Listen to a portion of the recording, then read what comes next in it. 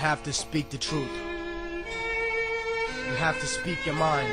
They own you as an individual because they own what you wrote down, they own your ideas, they own everything that you create because you signed a contract. Under regular terms of contract, in every aspect of business in this country, you are only entitled to be under contract for seven years.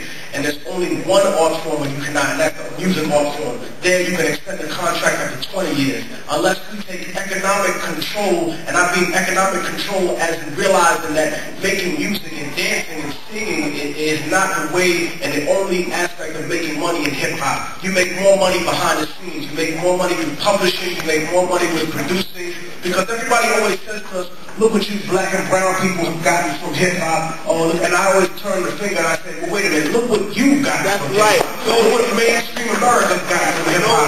Because we don't make none of the microphones that we record on. This microphone wasn't made by no black person or by right. no Latino person, uh, person who originated it. Now it's none of the film equipment we use. Now there's none of the recording studio, none of the Auralex pads, none of the, the, the, the places that uh, own publishing houses, none of the distributors, none of the manufacturers, none of the, the, the places that do PR for the firms we have, none of the magazine publishing. That's right. BET ain't owned by black people. That's so right. I think that they don't talk about slavery in the context of what you mean, young brother. It's a question of controlling what we do and of supporting those people that you see and exemplify that for you. If you see somebody that is not owned, I'm not owned by a corporate entity. I don't have that. And when I do my business with my individual distributor, I give them the records to sell. So I have the, the, the, the the records there to know exactly how many I've sold. Nobody else that I know personally does that, but there are a few people that I've heard of within the industry that do do that. Now, the very simple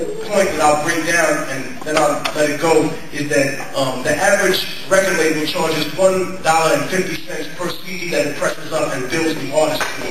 I go to a place that gives me, and I don't buy bulk like 500,000 CDs. I'll buy maybe uh, 10,000 CDs, and I can get a price of almost 75 cents. So if I'm paying 75 cents less, and you are supposedly being charged a dollar fifty, and you're getting 500,000 CDs pressed up, they obviously getting you for at least 75 cents. Now, 75 cents don't mean like much, but if you're pressing up a million units at $750,000, they just rape from you just by pressing up your record Right. basic facts, basic economics.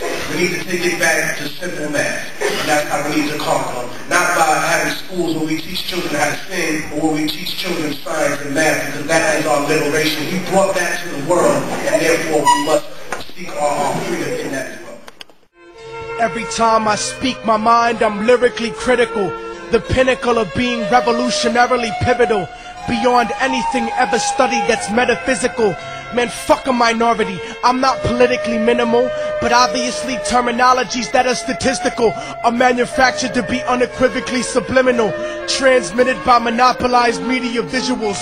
So I riddle hypocritically pitiful criminals.